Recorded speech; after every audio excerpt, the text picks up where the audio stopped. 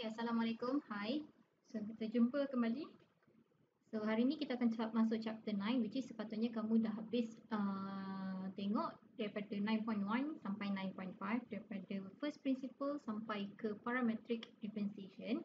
So, dalam video-video yang saya akan buat selepas ini ialah uh, kita akan bincang soalan-soalan. So, kalau boleh sebelum saya buat, kamu cuba buat dulu and then baru tengok saya punya explanation. Okay, so dalam video ni kita akan tengok dua benda. Kita akan tengok first principle dengan basic rules. Which saya tak akan terangkan satu-satu sebab sepatutnya kamu dah tahu dah differentiate by using uh, by using quotient rule macam mana, by using product rule macam mana, differentiate trico semua ni sepatutnya kamu dah tahu dah. Okay, so kita akan just go through the questions lah. Okay, so first principle. Soalan akan tanya, differentiate the function by using first principle. Dia akan state dalam soalan tu by using first, principle. So kalau kamu tak guna first principle, salahlah jawapan dia walaupun sebenarnya jawapan dia sama je. Okay. So, first principle, apa apa formula first principle kita? Kita ada, which is sebenarnya kita memang nak cari f prime x. Kita nak differentiate dia lah. Okay. So, f prime x equals to, kita ada limit h approaches to 0, fx plus h minus fx over h. So kalau kamu tengok dekat sini, familiar ke tidak, ini ialah daripada chapter 8. Okay, which is cara yang sama kita cari limit. So cara yang samalah, ada case 1, case 2, case 3, case 4 which is supposedly kat sini ialah case 2 lah. Uh, kamu substitute, kamu akan dapat 0 over 0. So kita ada dua option which is to factorize ataupun to multiply by conjugate. So itu untuk first principle kita. And then basic rules, kita ada empat main and basic rules. Kita ada power rules, kita ada chain rule, product rule, quotient rule kita. So saya tak nak pergi satu-satu explain the basic rules ni sepatutnya kamu dah tahu nak buat macam mana. Okay. So kita terus pergi kepada soalan kita.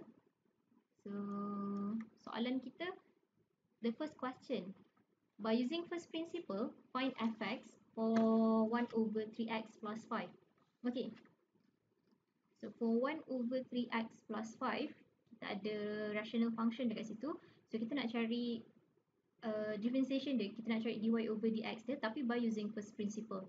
So kita guna formula yang ada dekat sini which is kita ada f prime x saya tulis kat sini lah, tak mau je f prime x equals to, okay, follow the formula limit h approach to 0 so fx plus h fx plus h ni maksudnya kita akan gantikan x kita x kita kita gantikan dengan x plus h. Okay. x tu kamu gantikan dengan x plus h. So sekarang supposedly kita ada 1 over 3x plus 5. So kita gantikan x dengan x plus h. So kita akan ada 3. Eh apa pula ni? Kita ada 3 times x plus h plus 5. Okay. Eh, kita gantikan x. Kita gantikan x dengan x plus 5. x plus h kat sini. Okay. So, minus fx. fx ialah apa yang soalan tu bagilah. 1 over 3x plus 5. Okay, close bracket. Oh, belum close bracket lagi. Kita ada over h kat sini. Habis hilang semua. Kita ada over h. Okay. So, kalau kamu nak tengok, kamu substitutekan 0 dekat dalam semua function kamu ni, uh, kamu akan dapat 0 over 0. Okay, sorry kalau kamu masukkan 0 dekat dalam H, kita akan dapat 0 over 0.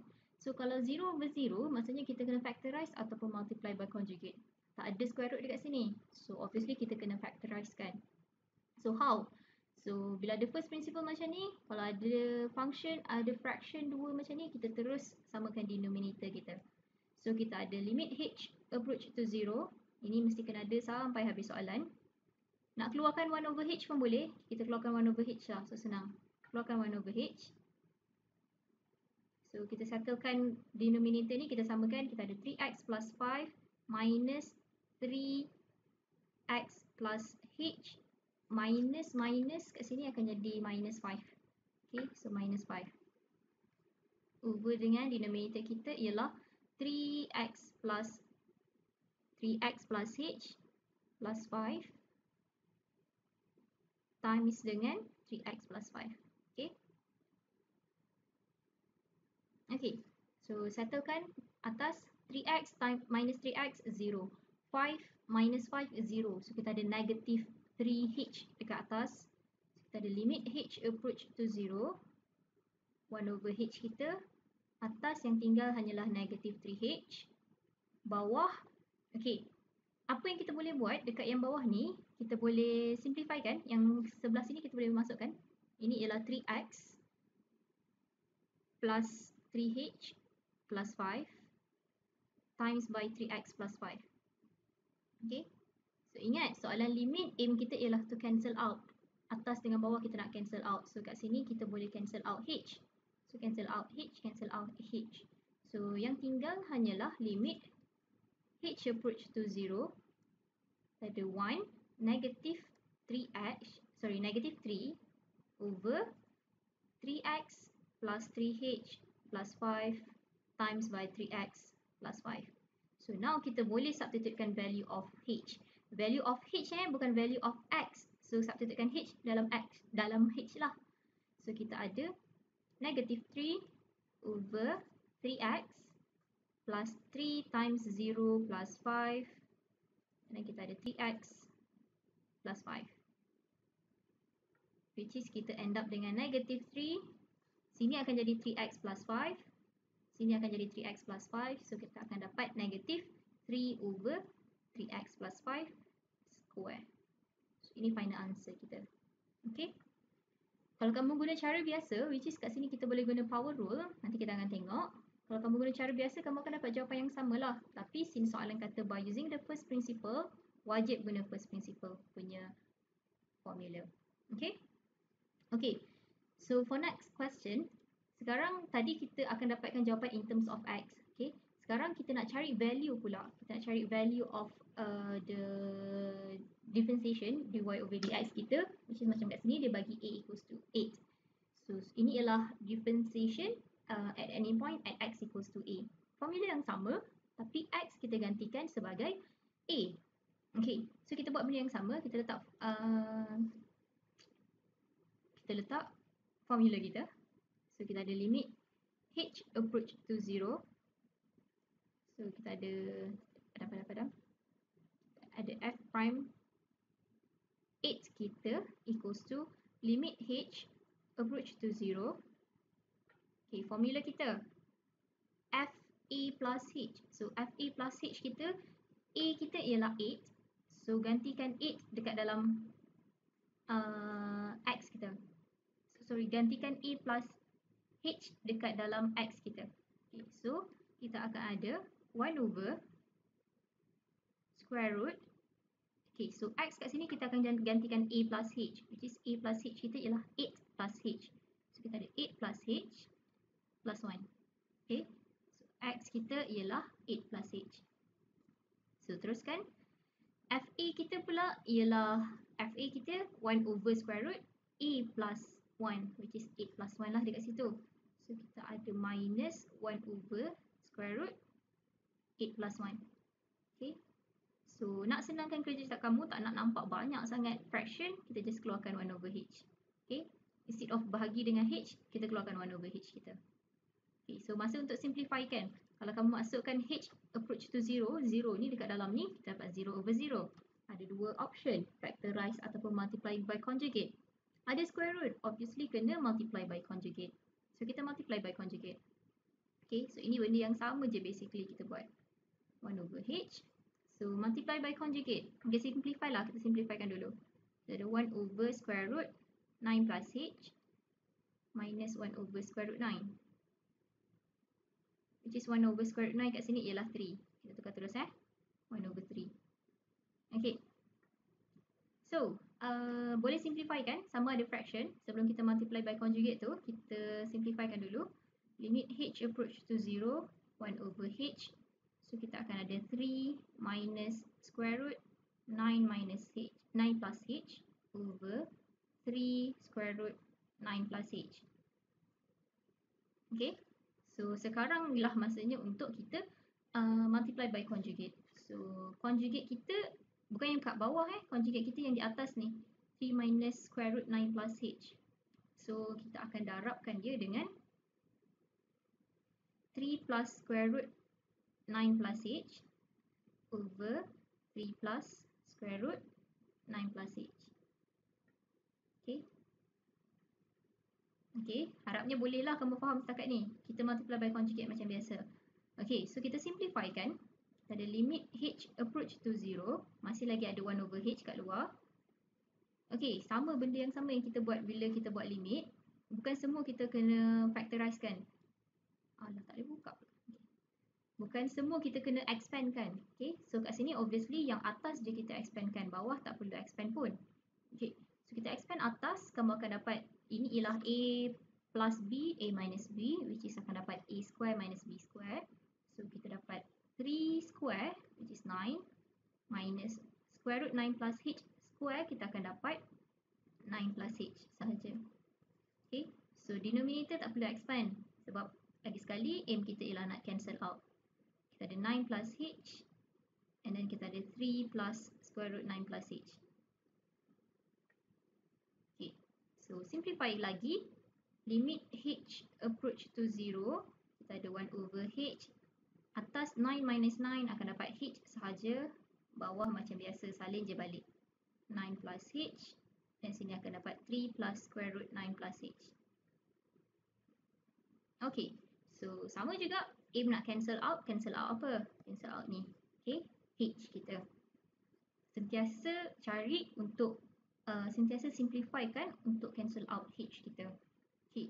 So sekarang kita akan end up dengan limit H approach to 0 1 over 3 square root 9 plus H times 3 plus square root 9 plus H.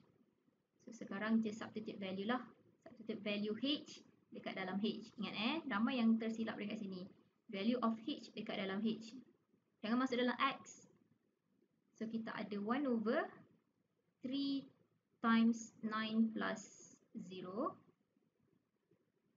So di ini kita akan ada 3 plus square root 9 plus 0. So kita ada 1 over 3 square root 9, 3 times 3 times dengan 3 plus square root 9, 3. Kat sini 1 over 9 plus 6 kita akan dapat 54. Okay, macam ada yang tertinggal je. Apa yang tertinggal?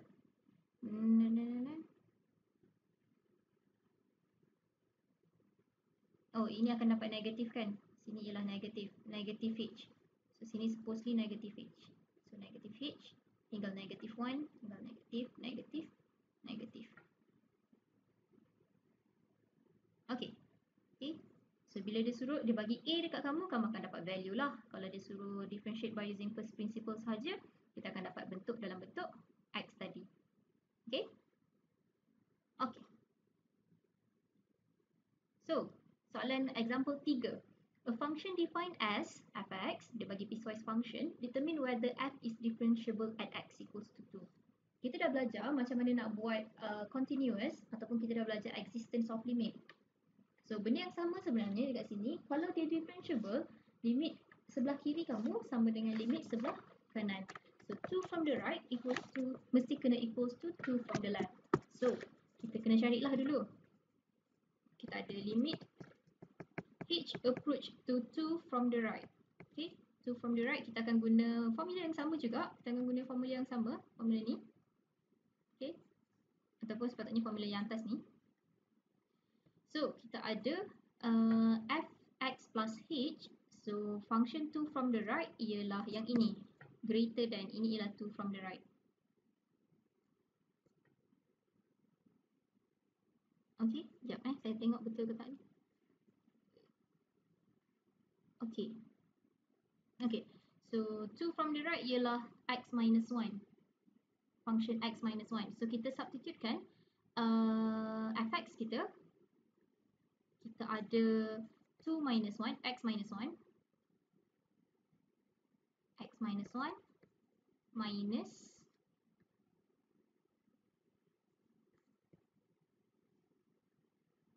Okay, uh, formula mana yang kita boleh nak guna? Kita. Formula mana yang kita boleh guna? So sekarang kita nak cari uh, a derivative at a point. Kita ada satu formula, kita ada dua formula. So, kalau nak mudahkan kerja kita, kita boleh terus guna formula yang ni. fx minus fa over x minus e. Okay. So sekarang fx minus fa over x minus a. So fx kita ialah x minus 1. Kita tahu 2 from the right ialah x minus 1.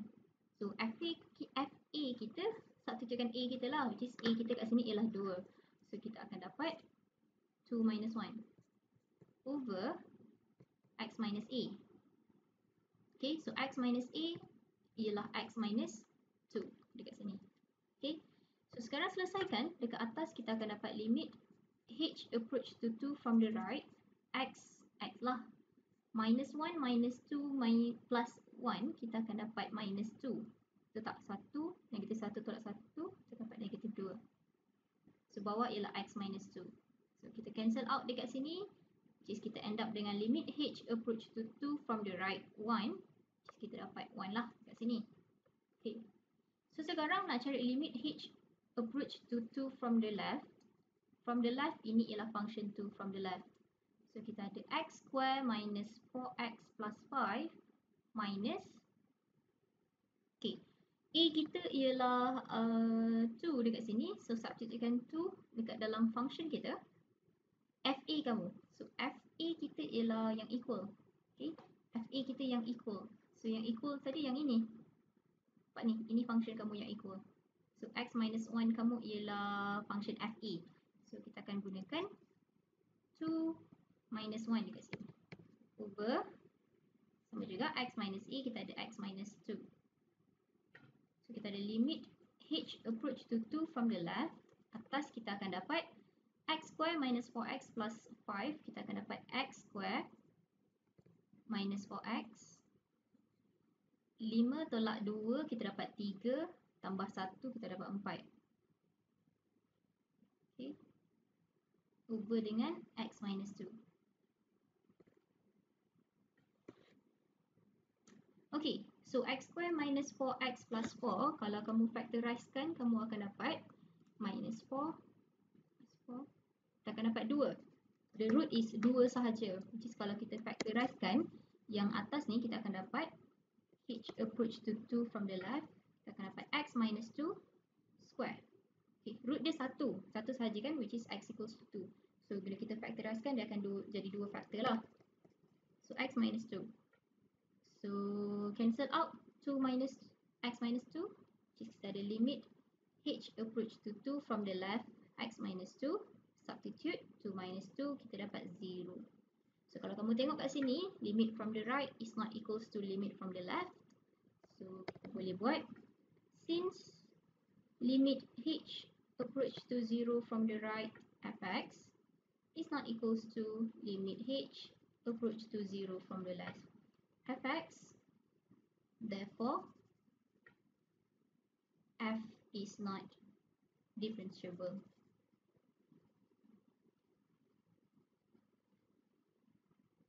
at x equals to 2 okay so, sama juga macam existence of limit bezanya kamu guna formula boleh tak nak guna cara yang macam ni? Guna formula yang nombor satu ni, guna H. Boleh tak ada masalah? Terpulanglah dekat kamu. Okay. Okay. Itu saja untuk video ni dulu.